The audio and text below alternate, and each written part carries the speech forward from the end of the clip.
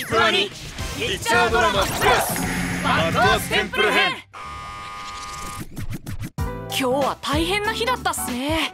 アマンダの危機を救ってくれたお二人には感謝してもしきれないっす。別にいいってことよ。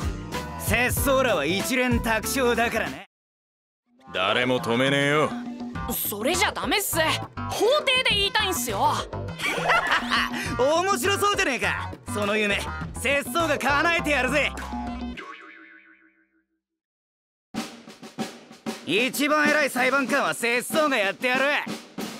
しょうがねえな。なら俺が弁護士やるから住所は検事だ。静粛に。誰も喋ってねえよ。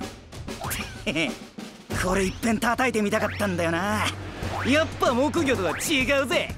早くやれええー、これよりアルゴクシー楽団の楽屋クッキー盗難事件の裁判を始める。